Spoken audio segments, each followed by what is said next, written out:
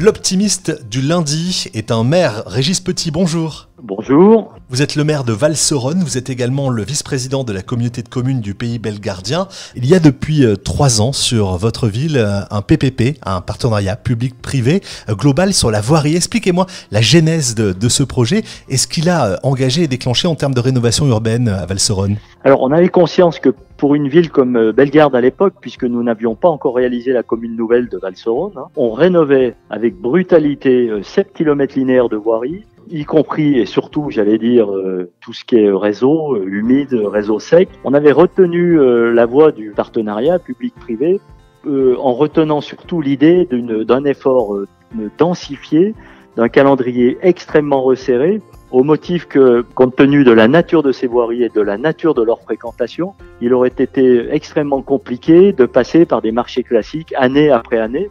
On aurait eu sans doute à, engager des travaux sur 6 ou 7 ans, c'était juste impossible. Donc il fallait un gros impact, mais en tout cas sur un temps très très court. Et c'est le pari qu'on a retenu, et c'est pour ça qu'on avait, on a retenu la voie du partenariat public-privé.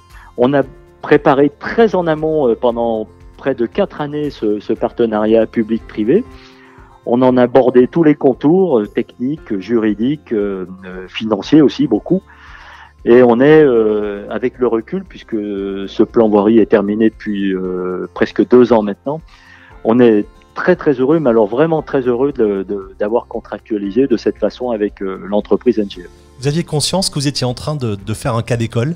On avait conscience de du côté assez inédit, mais on a été très très vite rassuré par des, de très très belles discussions partenariales avec, avec l'entreprise par un climat de confiance qui s'est installé d'emblée. Vous savez, c'est souvent une affaire d'homme, hein, euh, de, de, qualité relationnelle, de, de confiance qu'on était amené à se, à se faire les uns les autres. Euh, N'oublions pas que dans le partenariat public-privé, il y a le public, euh, bien sûr, il y a le privé, bien entendu, mais il y a le mot le plus fort qui est le partenariat. Hein. Quels sont les projets pour vous? Vous avez été réélu maire au, premier tour. Les projets sur votre ville de Valseronne? Alors les projets sur la ville euh, sont incarnés par deux dossiers emblématiques. Hein. On a un dossier de plaine de, de, plaine de jeux et de, de sport. Ce dossier, à l'échelle de 12 hectares, il est emblématique parce que il nous, il nous verra requalifier un ancien site de, de Péchinet, un ancien site industriel. Et on a un deuxième dossier qui est lui aussi tout à fait emblématique, très impactant euh, positivement pour l'image, c'est l'arrivée d'un village de marque euh, en lien avec le, le double échangeur de, de Valserone et qui nous verra accueillir euh, environ 2 millions de visiteurs par an. Et ça, c'est quelque chose qui, qui va changer beaucoup de choses pour notre, pour notre territoire. Merci Monsieur le maire pour euh, ce point, ce retour sur le, le, PPP global autour de la voirie et puis ces deux projets, euh, quelques-uns des projets de votre ville de Val-Soronne. Je vous souhaite une très bonne journée, une très bonne semaine. Merci à vous, à bientôt. NGE, les nouvelles générations d'entrepreneurs résolument optimistes.